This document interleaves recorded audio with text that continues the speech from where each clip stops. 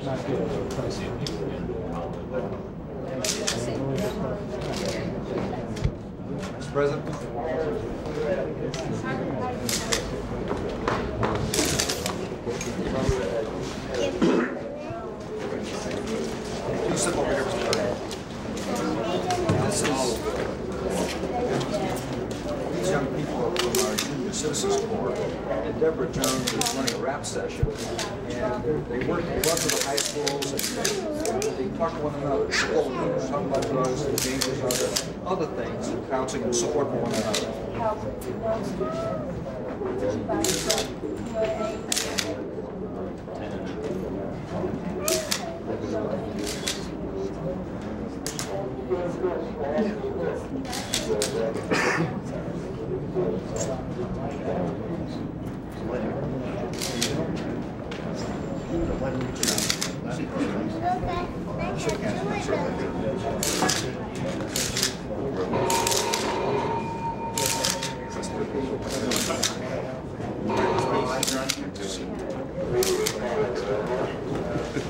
Mr. Smith, we talked to council here about alcohol and drug abuse.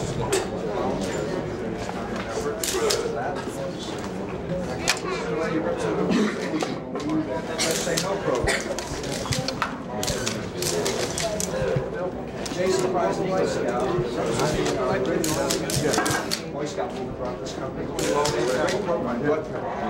miss, he's not helping himself with others. Some Mr. President, are you embarrassed by your failure to get a person on the court for the second time, sir? No, but I think there are others that should be. Well, well, who in this case, sir? Judge Ginsburg? No, Well, well, who's responsible for his leaving if it isn't he? He chose to leave in view of the harassment that was coming. It's a great public-private partnership with you uh, not only the last. And uh, one of the major events here is uh, Martin's. That is represents the supermarket, Democratic Party of Healthcare. Doug James here represents the Work Adjustment Training Program, which is accessory about seventy percent. I have the Emergency Shelter. Great program that's really good way to cover a lot of blocking. President,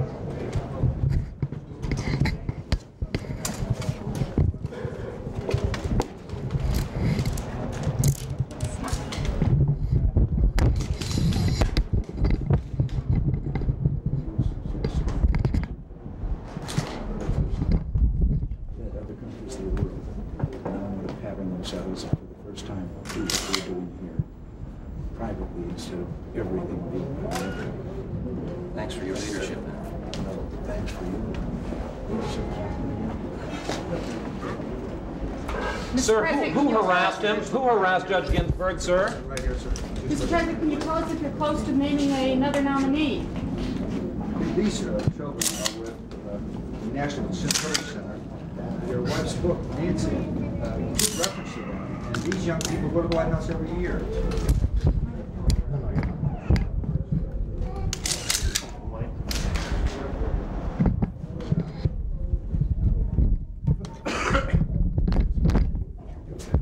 President, the Hopkins House is in Sir, sir, can we, neighborhood center. And these ladies, uh, Lieutenant Jennings, uh, Ferguson, Vanessa, is, uh, director works with them. They provide a full range of services. But these ladies on the elderly side of the program. Appreciate it. Okay? Hey, as you can see, tremendous achievement. And, and uh, they're one of our great agencies, as you know, and uh, the major represents, as you can see, the Salvation Army, which is a, uh, services to families, does an incredible job year-round, so. This way.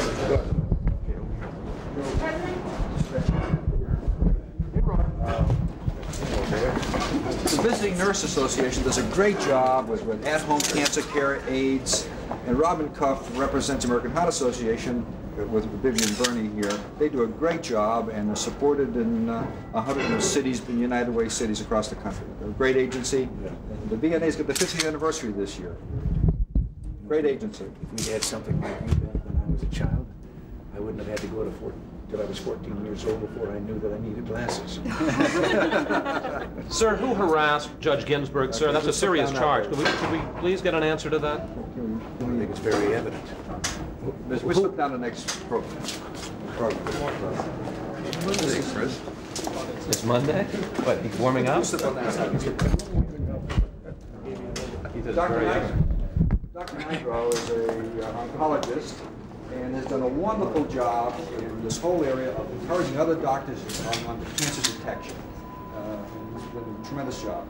Tan uh, Nguyen is a, taking a test, a high-risk test on cancer, use a computer, got the profile, and, gives you the exposure that you might be getting as a cancer potential person. I think your family has been a, great example of how to cope with cancer. Your leadership, by the way, Nancy's experience has, has more than doubled the mammograms across the country. People have just followed right behind her and got those tests. Right, doctor? That's indeed correct. We're, uh, we're showing this program just as an example of really a wide variety of programs and services that many Cancer Society volunteers across the country are using to demonstrate that cancer is treatable, detectable, and in many respects curable. Thank you. Sir, I did, know that Nancy knows about this, but very pleased to hear about it. We're delighted to have your example. sir, did you let Secretary Bennett do your dirty work for you on this one to force him out? Barbara Florence.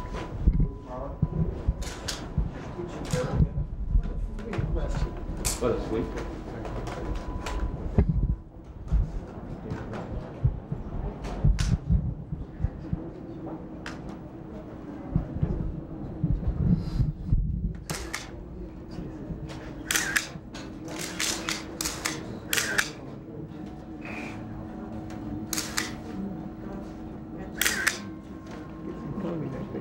Barbara is She is pregnant. She works with me.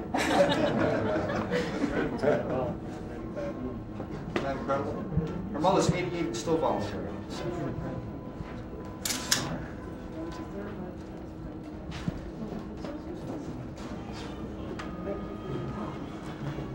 Mr. President, right behind us here.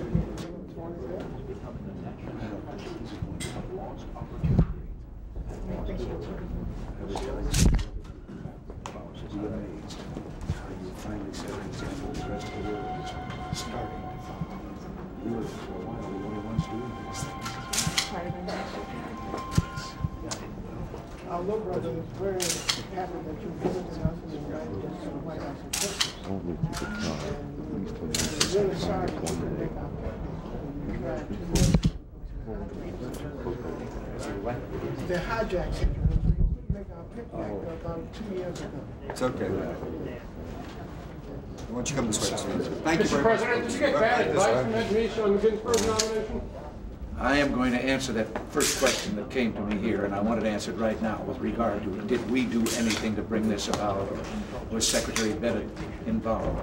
All of that was a distortion, the way that story was told. No. I stood by and would, and declared I would not withdraw him. He voluntarily made that decision on his own and called me and told me that he wanted to do that. You say he was harassed by whom, sir? Who harassed him out of it? Well, maybe that was the wrong word. Maybe I should use the, he used the right word in his very fine statement, and that was the clamor that arose. Mr. President, Senator Hatch says he and a lot of conservatives are getting very mad at your staff for the way they've handled this. What do you have to say to him? We're going to see if he cannot hear the truth. And because of you, we have been able to say yes. When you came into office, Mr. President, you brought a new perspective on the role of government and the role of the volunteer during the past several years, and also to point out some of the remaining problems ahead. And it gives some impressive details, and I'd like to mention just a few. With a market value of almost $30 billion, just through United Way and its agencies alone.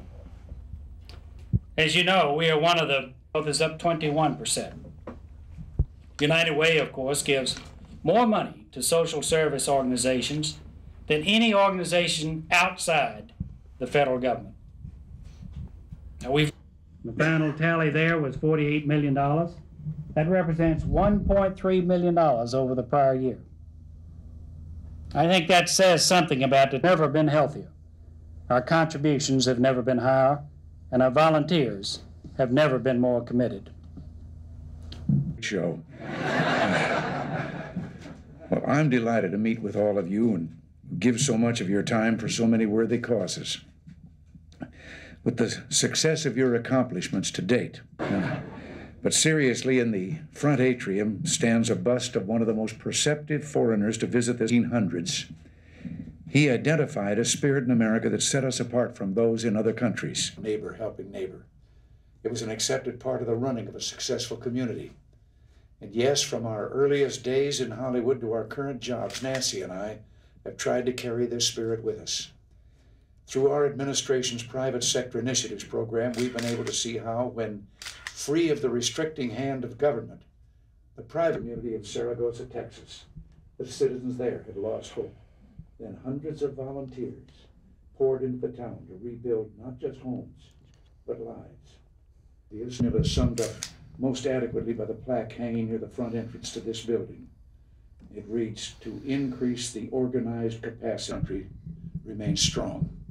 Consider, for example, that during the third quarter, which ended in September, the gross national product in constant dollars rose at a 3.8% annual rate, spurred by business fixed investment, which was soaring at an extraordinary 24%. And more to be done. Your spirit of cooperation is the same spirit America wants from those of us in government, is demonstrating to the world how a caring nation can unite to help the less fortunate among us. Through your agencies and volunteers, you've met the challenge I set forth to you one year ago. Meg, we're Americans. It's been a privilege for me to come here today to share the encouraging news of your progress. And as we've seen for services to women, is up 500%. Child welfare programs are up 198%. Services for the elderly up 100%. And funds going to substance abuse have increased of ours. Some time ago, earlier in my term as president, at a dinner at the White House, the uh, White, such things as this, private giving and so forth. And quietly, she spoke to me and she said, Yes, in your country. Generosity and our voluntary effort. And certainly, if there's one person to be singled out in this country as the captain